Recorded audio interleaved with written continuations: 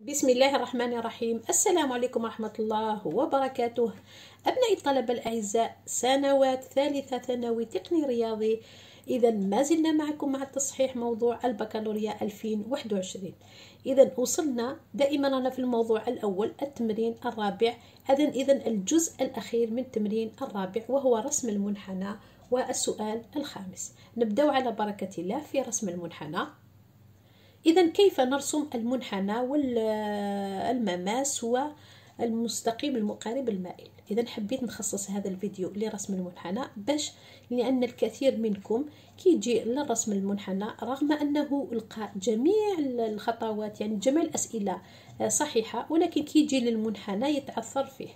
إذا أول شيء راح نكتب أولا أستحضر الجدول التغيرات تاعي لأن هناك قيمة حدية صغرى للمنحنى.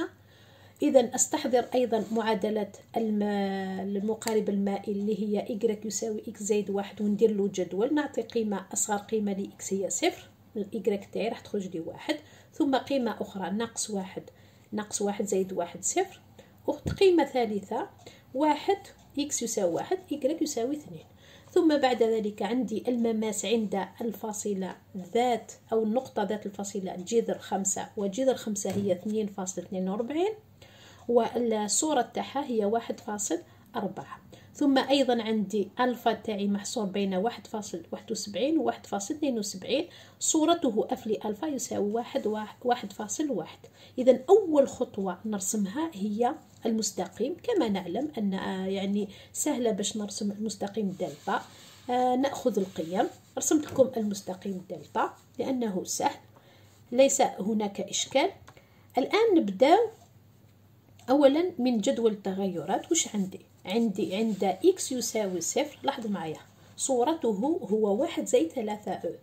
وواحد زائد ثلاثة أو قلت لكم قبل ذلك هو بالتقريب تسعة فاصل خمسطاش اذا نجي إلى تسعة فاصل خمسطاش يجي بالتقريب في هذه عند محور الترتيب إذا المنحنى تاعي يبدأ من هذه النقطة ثم يتنازل يتنازل يتنازل إلى غاية القي... إلى غاية القيمة الحدية الصغرى اللي هي عند ألفا. ألفا تاعي هنا بالتقريب. عندي الوحدة هنايا. طبعا في معلم متعامد متجانس. هنا واحد. ألفا تاعي راح يقع بين واحد واثنين واحد فاصل واحد وسبعين واحد فاصل اثنين وسبعين. ثم صورة ألفا هي أف لألفا اللي هو واحد واحد فاصل واحد. هنا نعلم أن عندي المنحنى تاعي يجي هكذا. إذا نتابع. إذا يكون عندي قيمة حدية صغرى عند هذه النقطة. ثم يجي المنحنى تاعي من هذه القيمة أو من هذه النقطة يجي يهبط يهبط لغاية الدالة تاعي متناقصة إلى غاية القيمة الحدية الصغرى. ثم عندي مماس عند جذر خمسة. جذر خمسة بالتقريب اثنين فاصل وأربعين صورته هي آه واحد فاصل أربعة. إذا هنا سي واحد فاصل أربعة. نعين النقطة ندير مماس تاعي. لازم يكون موازي لمحور آه للمستقيم دلتا. هنا فقط هنا مجال التعريف تاعي هو من صفر زائد ما نهاية. إذا كل هذه راح أستثنيه. راح يكون عندي نصف مستقيم فقط. إذا كل هذا الجزء راح أستثنيه لأن المجال التعريف تاعي صفر زائد ما نهاية. إذا مستقيم مقارب تاعي نرسم نصف مستقيم فقط. ثم عندي المماس رسمته بالتوازي مع المستقيم دلتا راح يكون بالتقريب هكذا. ثم المنحنى تاعي قلت يجي الوضعية راح يكون المنحنى يتقاطع مع النقطة ذات الفاصلة واحد اثنين.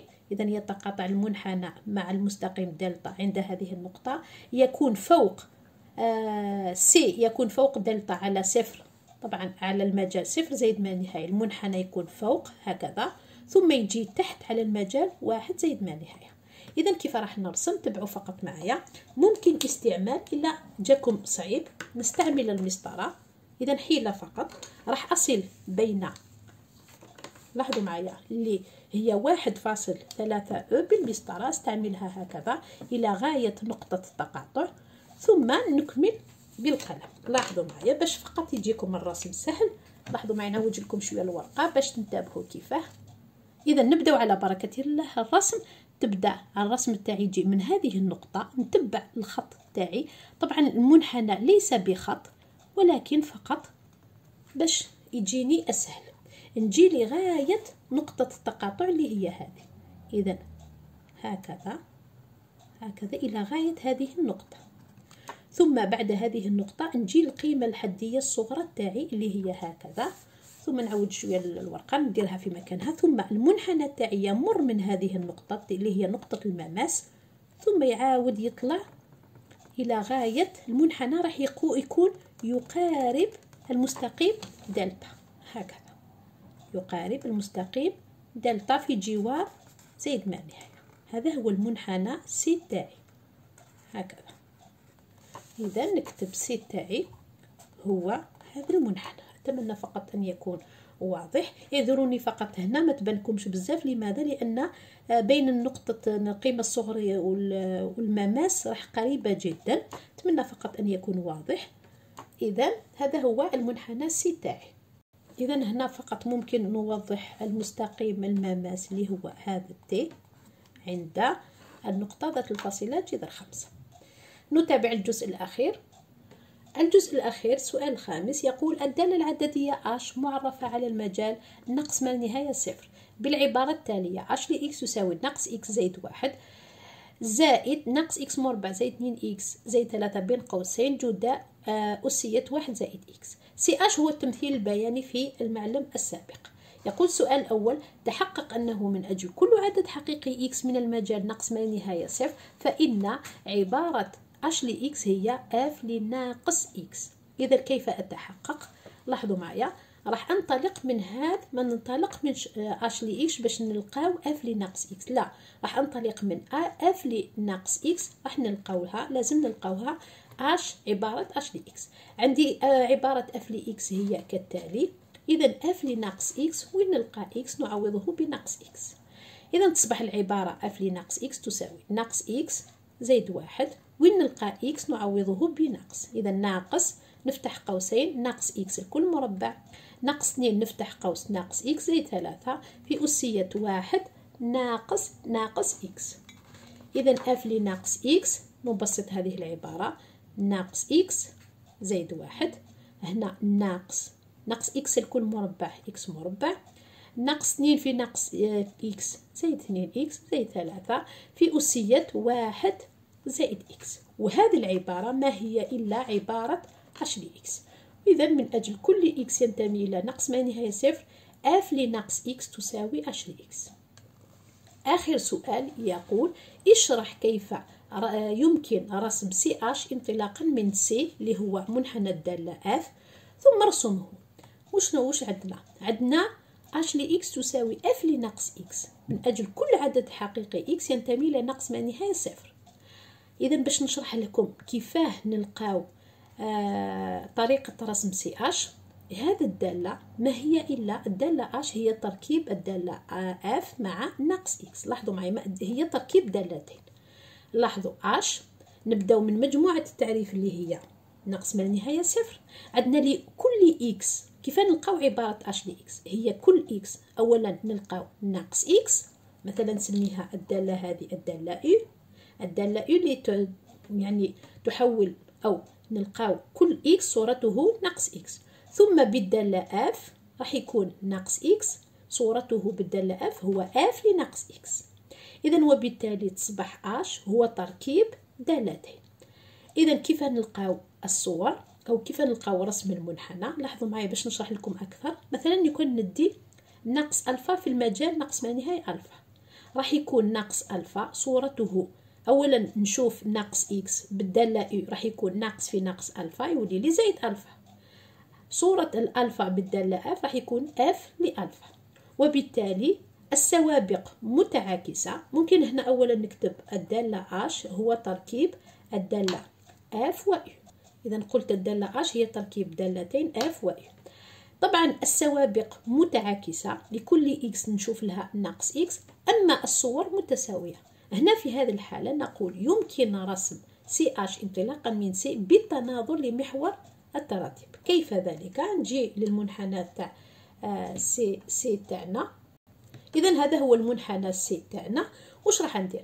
راح نرسم هذا المنحنى بالتناظر مع محور التراتب نبداو بالنقطة هذه اللي هي صفر واحد زائد ثلاثة راح تبقى نفسها ما تتغيرش.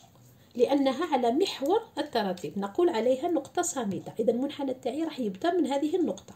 ثم راح ندير نظيرة مثلا واحد اثنين. أين يتقاطع مع معدلة المماس لاحظوا معي واحد اثنين راح يكون ناقص واحد اثنين. راح يتقاطع هنا.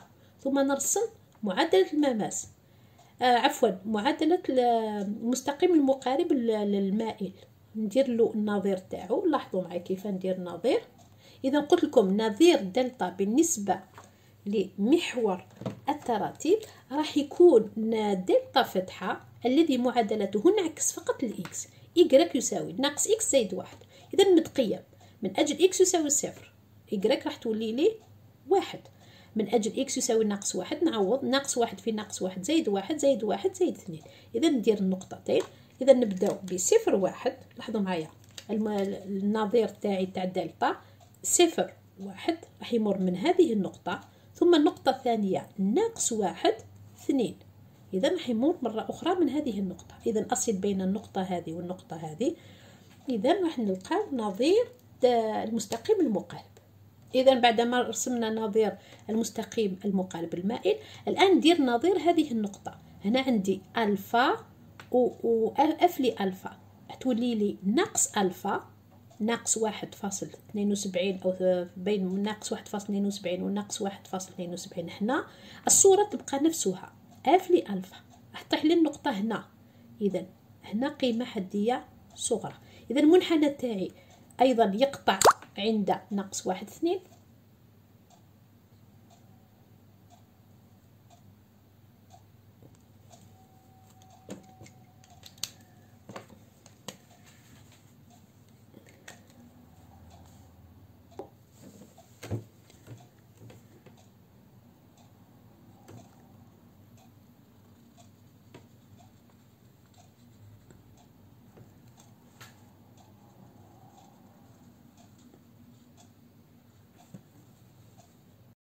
إذا لاحظوا معايا ثم يجي يهبط حتى القيمة الحدية الصغرى ثم من القيمة الحدية الصغرى يجي مقارب